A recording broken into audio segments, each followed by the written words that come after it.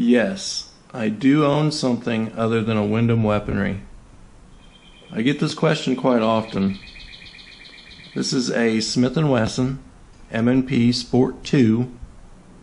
It's got the extended quad rail on it, not free floated. It's a UTG Pro. I put my Battle Arms ambidextrous safety on it.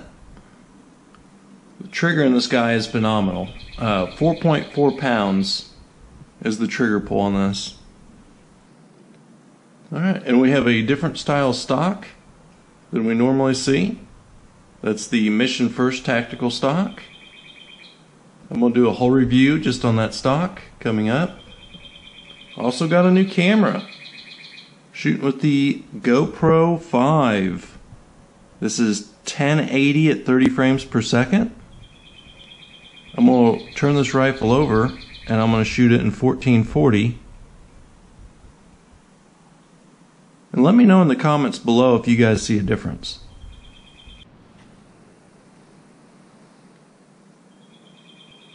Alright, here we go on the other side.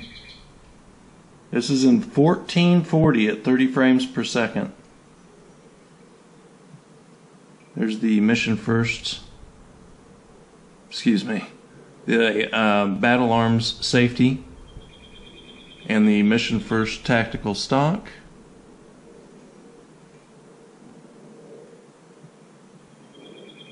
So far, I've been impressed with this rifle. Uh, a good buddy of mine uh, had cancer. This was in his collection.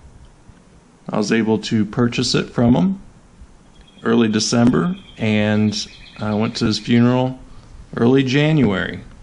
So this rifle has a lot of sentimental value to me now, uh, and I will never sell it, whether it's a good shooter or not. But so far, so good. I've been super impressed.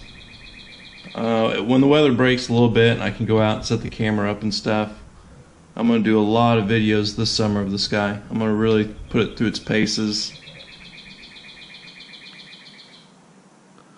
So this is the 1440 at 30 frames per second.